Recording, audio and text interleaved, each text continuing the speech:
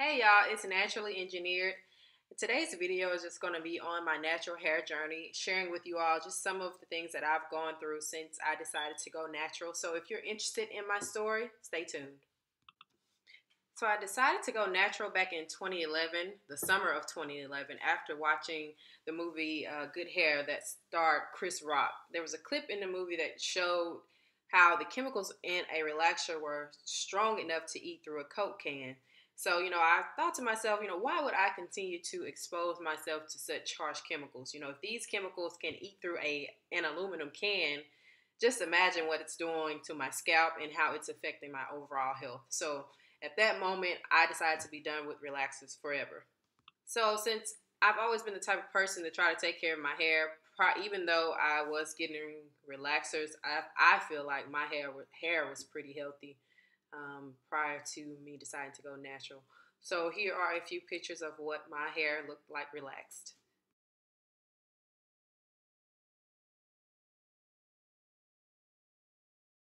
So while transitioning, I wore a lot of sew-ins. I did a lot of twisting curls, braid outs. I did a lot of um, rod sets and straw sets. So after 10 months of trying to manage two different hair textures, I finally said, you know what, the hell with this.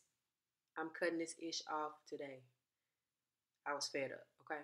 So I told my sister, who had been natural for about, I think, a year or two, I told her to go get her shears. I sat down in my mother's kitchen and chop, chop. Away went all of my hair right there on the floor. And I damn near fell over right with it. But uh, at the time that I did the big chop, I think I had about two or three inches of new growth. So here are a few pictures of my TWA.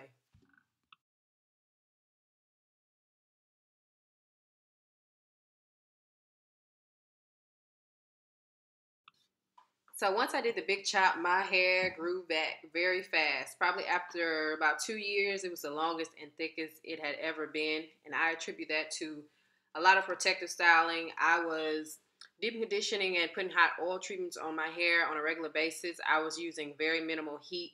I probably hardly ever used a blow dryer.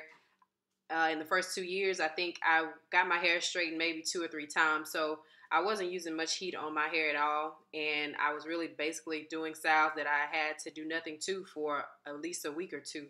So here are a few pictures of the style that, styles that I wore in my first two years, and the pictures will also put into perspective just how fast my hair grew back.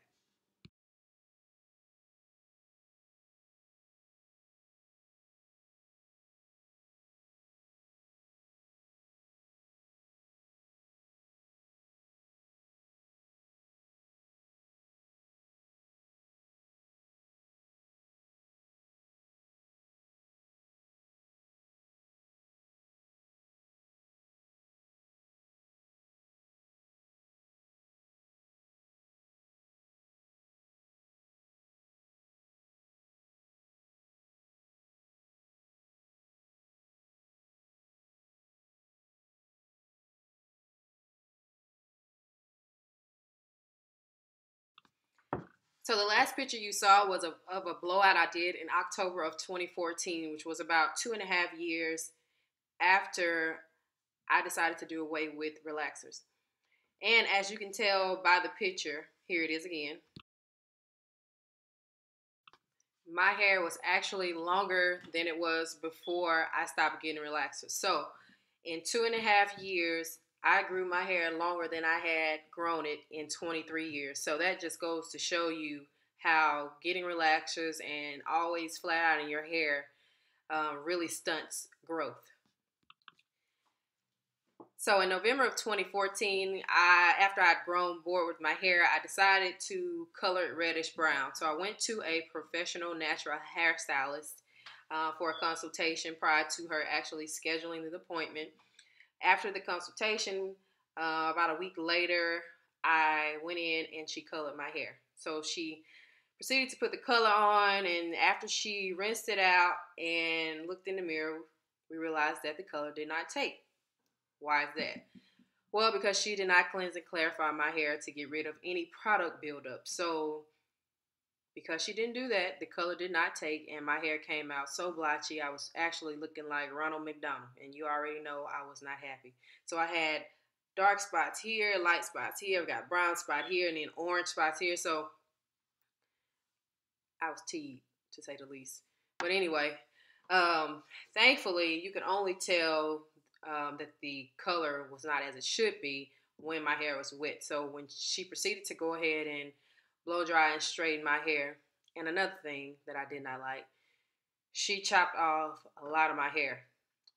Supposedly because my ends were so bad, but my ends weren't as bad as she claimed they were, and I think she cut about two or three inches off my hair. So from the picture you saw previously, my hair was blown out and it was probably here. So which means that if it had been straightened, it would probably be here about armpit length. So my hair was about armpit length straightened before she decided to turn into Edward Scissorhands. And this is how it looked once I left the salon.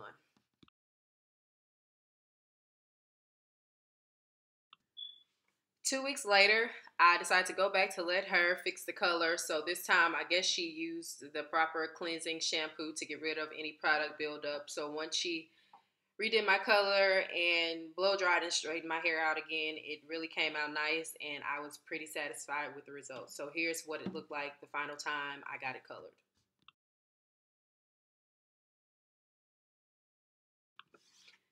So after I got my hair colored, things went downhill. Uh, the first time I washed my hair after I got it colored, I noticed that my curl pattern was looser than it had been before. And at the time, I didn't really pay any attention to it, didn't think anything of it because it made my hair just a little bit more manageable.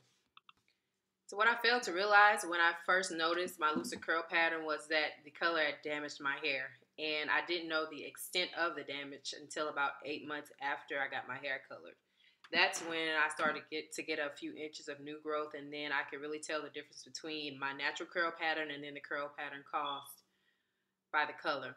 Um, it was so much looser than my natural curl pattern, and it was like transitioning all over again. Um, I couldn't really style my hair. I couldn't do any wash and goes. I my hair was just a complete mess. I also started to experience a lot of dryness and brittleness and breakage. Um, my hair started to get very thin. I'm going to show you guys a picture of what my mini twists looked like before I got my hair colored and then what they look like after I got my hair colored.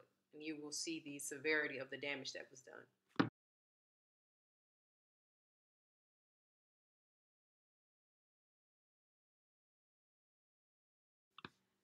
So the picture you guys just saw of my twist after I got got it colored was in December of 2015, which so that was about a year ago. Since when I twisted my hair and I saw the extent of the damage and how thin and uneven and lifeless my hair was, I at that point I decided to go on a healthy hair journey where I would focus on growing my hair out and gradually trimming those colored ends off. At that time, I also started taking a hair supplement. Um, I started taking the Mane Choice, and it really helped my hair become stronger and less prone to breakage. Here's a picture of my first flat iron of 2016. So as you can see, I had a lot of color to get off of my hair. I probably had only about two inches of new growth at the time. So since my main goal was to get rid of all of the color, I started going to get my hair flat ironed and trimmed every six weeks. Now I I got it lightly flat ironed. Um, this was not a hard press or a hard flat iron. I explained that to the stylist that I went to, and she gradually cut my ends off. So in between flat irons, I would wear protective styles. I wore a lot of crochet braids, and when I wasn't wearing crochet braids or, or other protective styles, I was deep conditioning my hair at least once a week and most off most times twice a week. So that really helped my hair to bounce back. My next flat iron was in May of 2016 and here's a picture. So notice at this point I've grown about half of the color off. After the flat iron in May of this year, I wore goddess braids for three months. When I took those down, I wore mini twist for a month. So I'm going to show you guys a picture of my mini twist in December of 2015 where um, my hair was really damaged versus my mini twist of September of 2016 and you guys you guys are really going to see how uh, much my hair grew and you're to see how much healthier my mini twists look now that I started to um, cut those colored ends off and basically uh, taking better care of my hair. This is December 2015 versus April, I'm sorry, September 2016. And as you can see, the picture on the right is how my hair looks now after sticking to a very strict hair regimen. And here's another picture of those twists I wore in September. After I removed my mini twist, I got my hair flat iron again in October, and here are a few pictures. So as you can see, I really don't have any more color on my hair. I think there's just a tiny bit left on my ends towards the front of my hair where my bangs are. So here's a comparison photo of all of my flat irons. The top left is January of 2016, the top right is May of 2016, and then the bottom picture is October of 2016. And as you can see, sticking to a strict hair regimen allowed me to grow all of that color off of my hair in about 10 months. So it's been two months since I last flat ironed my hair, and I have completely rid my hair of the color. And I'm still focusing on wearing protective styles. As you can see, I have these goddess locs in.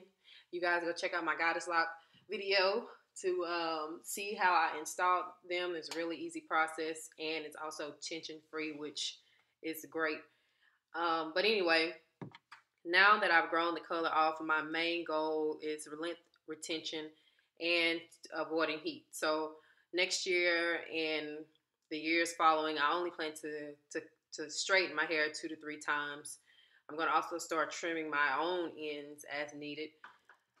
And uh, I'm going to kind of back up on using the blow dryer. I usually blow dry my hair every time I wash it because I don't like manipulating my hair um, and it's uh, if it's not stretched to blow dry because it just I get a lot of breakage if I'm trying to if I wet my hair every day and try to style it while it's wet and really curly and coily.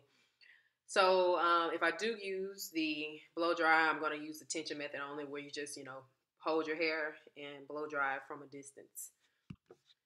So I could, if I could have done some things differently along the way in my natural hair journey, um, one thing I would have done, I would have never, ever, ever, ever ever, ever, ever, ever, ever, ever color my hair. Uh, because I think coloring my hair set me back for almost two years. Um, and if I would have just had to have my hair colored, I really would have paid more attention to my color treated hair. Uh, such as I would have made sure I deep conditioned my hair more often. I would have moisturized it daily, you know, trimmed it more frequently, just just basically paid more attention to it just to make sure it stayed healthy that is my natural hair journey in a nutshell. I really made this video just to, um, because I wanted to encourage those who may be suffering from color or heat damage, just to let you know that it's really, it's not the end of the world. You know, it's discouraging, but um, you can always bounce back from it. Um, you can recover from any type of damage that has been done to your hair as long as you just vow to to really just stick to a healthy hair regimen that works for you. Seeing the strides my hair has made over the past 10 months has really kind of revitalized this once lost enthusiasm I had for caring for my hair. So I'm really excited about what the future holds for me on my natural hair journey, and I really hope you guys are here to experience it with me. If you like this video or if it was encouraging and helpful helpful to you, please hit the like button. Also, leave any comments that you have. Um, you guys, please go and subscribe to my channel. Um, tell your friends about it. Tell your families about it. Uh, tell your coworkers about it. Anybody who needs uh, natural hair tips or style ideas, send them my way at Naturally Engineered um, on YouTube as well as on Instagram. Now, Instagram, I post a lot of pictures of my daily hairstyles as well as the as clips to the full videos that I put on YouTube. So um, that's my time, y'all. I thank you guys for watching, and I will see you guys on the next video.